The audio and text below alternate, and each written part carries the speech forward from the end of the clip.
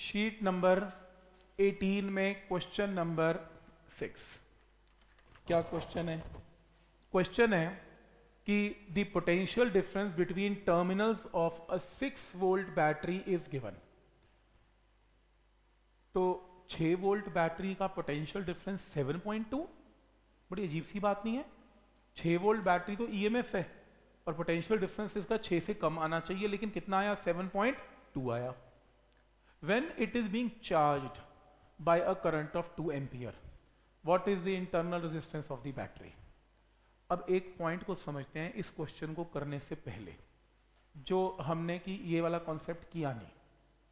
कैसे? सपोज़ करो आपके पास एक बैटरी है, ये प्लस है और ये माइनस है और इंटरनल रेजिस्टेंस स्मॉल आर है। ठीक है?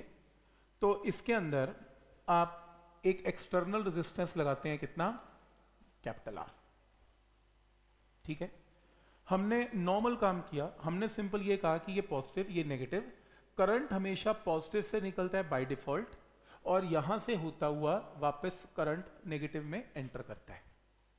तो बैटरी करंट को सर्कुलेट कर रही है और कब तक करेगी? जब तक उसके अंदर एनर्जी है एनर्जी खत्म हो गई करंट खत्म हो जाएगा।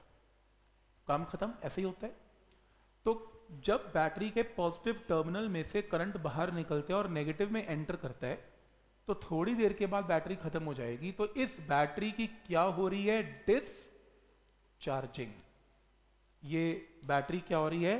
डिस्चार्ज हो रही है। अपने चार्ज जो है, ये खत्म होती जा रही है। लेकिन आपने देखा होगा, कुछ सेल्स ऐसे होते हैं, जो फिर से चार्ज हो जाते हैं।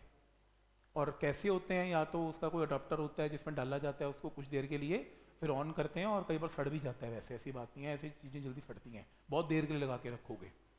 पर पॉइंट ये है कि आप उसको चार्ज कर सकते हो। कुछ बैटरीज को, सबको नहीं, कुछ को कर सकते हो। अब बैटरी चार्ज कैसे हो सकती है? वैसे सारे सेल्स को कर सकते हैं, कुछ। बस ये होता है कि ज़्यादा देर चलती नहीं है नॉर्मल सेल्स नहीं चलते, बाकी सेल्स चल जाते हैं। अब क्या इसमें चार्जिंग में करते क्या है? डिसचार्जिंग में करंट पॉजिटिव से बाहर निकलता हुआ नेगेटिव में एंटर करता है। चार्जिंग के अंदर हम उल्टा काम करते हैं। चार्जिंग के अंदर क्या होता है कि ये आपका पॉजिटिव और ये आपका नेगेटिव टर्मिनल टर्मिनल है इंटरनल रेजिस्टेंस आर है। पॉजिटिव और नेगेटिव में करंट निकलता पॉजिटिव से है और एंटर नेगेटिव में करता है, पर चार्जिंग के अंदर चार्जिंग के अंदर करंट को एंटर करवाया जाता है पॉजिटिव में। और नेगेटिव से बाहर निकलता है, उल्टा फिनोमेना है। बाय नेचर सेल जो है, वो पॉजिटिव से नेगेटिव करंट देता है। लेकिन चार्जिंग के अंदर उल्टा होता है, हम उसके पॉजिटिव टर्मिनल में करंट एंटर करवाते हैं। Right right? तो उसमें ये एग्जैक्टली exactly उसकी नेचर के ऑपोजिट काम हो रहा है। ऐसे ही हो रहा है। अब होता क्या है, अब ये तो वही बात होगी कि मान लो एक सेल है 10 वोल्ट का सेल है। अगर 10 वोल्ट का सेल डिस्चार्ज हो रहा है करंट बाहर निकाल रहा है तो टर्मिनल पोटेंशियल डिफरेंस 10 वोल्ट से तो कम ही आएगा। 9 8 कुछ भी आएगा डिपेंडिंग इंटरनल रेजिस्टेंस के। लेकिन जब सेल चार्ज हो रहा है तो टर्मिनल पोटेंशियल डिफरेंस 10 वोल्ट से ज़्यादा आएगा। उल्टा काम हो जाता है। बिल्कुल, वो आप सोचोगे कैसे? आप बस यही मुझे बताएँ कि मेरे पास मान लो कोई वोल्ट्स या एनर्जी 10 जूल की एनर्जी है, और मैंने अपनी एनर्जी बाहर निकालनी है, मैं डिस्चार्ज हो रहा हूँ तो मेरे पास अब एनर्जी कम मिलेगी आपको। लेकिन अगर सोचो मेरे पास 10 जूल की एनर्जी और आप बाहर से मुझे एनर्जी और प्रोवाइड कर रहे हैं तो मेरी एनर्जी तो 10 जूल से ऊपर ही निकल आएगी एक्सेस हो जाएगा। तो जब डिस्चार्जिंग होती है तो टर्मिनल पोटेंशियल डिफरेंस याद करो डिस्चार्जिंग के अंदर टर्मिनल पोटेंशियल डिफरेंस क्या होता था? ई माइनस आई आर ये था। चार्जिंग के अंदर पहला रूल करंट हमेशा एंटर करेगा पॉजिटिव में, उल्टा। और ऐसा क्यों करेगा भाई? ऐसा अपने आप तो करेगा नहीं, क्योंकि बैटरी तो पॉजिटिव से बाहर निकालेगी। ये कैसे एंटर कर गया? चार्जिंग के लिए आपको एक और बैटरी लेनी पड़ती है, एक स्ट्रॉन्ग बैटरी, जो अपने अंदर से करंट को बाहर निकाल ले। जैसे अगर ये पाँच वोल्ट की बैटरी है तो ये कम से कम आपकी बैटरी पाँच वोल्ट से ज़्यादा हो। स्ट्रॉन्ग बैटरी चाहिए, ताकि इसका पॉजिटिव करंट इसमें एंटर कर सके। क्योंकि दो बैटरी जब लगी होगी एक स्ट्रॉन्ग एक वीक तो स्ट्रॉन्ग वाले के हिसाब से काम चलेगा। तो करंट स्ट्रॉन्ग निकालेगी और इसमें एंटर करेगा। तो ये बैटरी क्या होगी? डिस्चार्ज और ये बैटरी साइमल्टेनियसली क्या होगी? चार्ज एक की एनर्जी लूज होगी और एक गेन करेगा सिंपल तो इसमें टर्मिनल पोटेंशियल डिफरेंस क्या होगा? ई माइनस आई आर लेकिन चार्जिंग वाली बैटरी में पोटेंशियल जो टर्मिनल पोटेंशियल डिफरेंस होता है, वो याद रखना क्या होता है? ई प्लस आई आर इसमें ज़्यादा होता है, उसमें कम होता है, इसमें ज़्यादा हो जाता है। राइट क्यों? क्योंकि वो पहले डिस्चार्जिंग में करंट वो अपना निकाल रहा है। आई इंटू आर उसका अपना लॉस है। करंट निकालने से कोई लॉस हो रहा है आई इंटू आर पर जब वो आराम से बैठी है बैटरी और हम उसको करंट दे रहे हैं तो आई इंटू आर पोटेंशियल उसमें ऐड हो रहा है, उसको फ़ायदा हो रहा है उस पोटेंशियल डिफरेंस का भी। तो ये फॉर्मूला याद रखना। वैसे मैं इसका प्रूफ किरचॉफ लॉ से करवा दूँगा, या करवा भी सकता हूँ अभी। कि जिसके अंदर ये जो चार्जिंग है और डिस्चार्जिंग है, उसमें ये फॉर्मूला ऐसे कैसे बनता है? लेकिन आने वाले टाइम में अभी हम क्वेश्चन करेंगे, उसके अंदर ये सारा आपको समझ में आ जाएगा। जब हम सेल्स सीरीज़ और पैरल में लगाते हैं, उसमें चार्जिंग डिस्चार्जिंग का कॉन्सेप्ट आता है। पर अभी ये शॉर्टकट याद रहेगा कि चार्जिंग में क्या डिस्चार्जिंग में क्या। अब आपका जो क्वेश्चन है, वो यही तो है। फॉर्मुला रजिस्टर में नोट कर लेना। चार्जिंग में लिख लेना। फॉर्मुला रजिस्टर में during charging terminal potential difference V is equal to E minus I R और डिस्चार्जिंग में V is equal to E plus I R भूलना जाना कहीं। ठीक है? तो इसके अंदर क्वेश्चन नंबर सिक्स के अंदर यही तो है। पोटेंशियल डिफरेंस ये ईएमएफ e गिवन है और ये टर्मिनल पोटेंशियल डिफरेंस गिवन है। ये बढ़ गया क्योंकि वो क्या कह रहा है? बैटरी क्या हो रही है?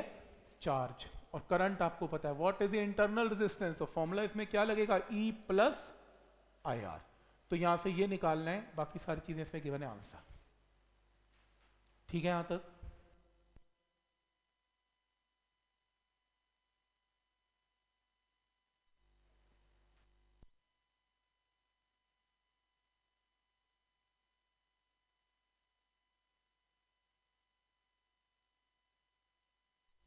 ठीक है यहाँ तक? क्लियर है? तो नेक्स्ट है सेवंथ क्वेश्चन में डाउट सेवंथ में। सेवंथ क्वेश्चन है अब बैटरी जिसकी ईएमएफ e दो वोल्ट है इंटरनल रेजिस्टेंस गिवन है तो ई e गिवन है स्मॉल आर गिवन है कैपिटल आर गिवन है। How many electrons pass through cross section in one second भाई एक बात बताओ, अगर ई e पता है आर पता है और कैपिटल आर पता है तो करंट की वैल्यू क्या होती है? E divided by sum of external and internal तो यहाँ से आप करंट निकाल लेंगे। करंट होता क्या है? करंट होता है चार्ज डिवाइडेड बाय टाइम तो यहाँ से मल्टीप्लाई करके आप चार्ज निकाल लेंगे। चार्ज की वैल्यू आ गई। चार्ज क्या होता है? एन इंटू ई यहाँ से आप एन की वैल्यू निकाल लेना। नंबर ऑफ़ इलेक्ट्रॉन्स आ जाएँगे। तो पॉइंट समझ में आ रहा है यहाँ तक? तो पहले क्या निकलेगा इसमें? करंट फिर निकलेगा चार्ज फिर निकलेगा नंबर ऑफ़ इलेक्ट्रॉन्स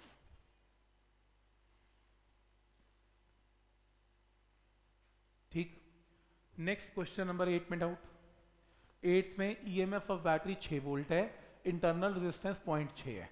वायर 2.4 है is connected to ends of the battery तो एक डायग्राम बना लो तो ईएमएफ 6 वोल्ट है 6 वोल्ट है, और इंटरनल रेजिस्टेंस इसकी 0.6 ओम है। तो एक वायर है, जिसकी रेजिस्टेंस कितनी है? 2.4 ओम है कैपिटल आर गिवन है। तो कैलकुलेट करंट निकालना है। देखो, एक फॉर्मूला बड़ा आसान है। E divided by R plus R ये पार्ट आ गया। Potential difference between the two terminal of the battery ना क्लोज सर्किट क्लोज सर्किट का मतलब इसमें करंट बाहर आएगा तो E minus I R answer second part V is equal to E minus I R answer ठीक हो गया यहाँ तक? ठीक। कोई डाउट इसमें। क्वेश्चन नंबर नाइन में डाउट क्वेश्चन नंबर टेन में डाउट ठीक? ऑनलाइन क्लियर है? Yes sir yes sir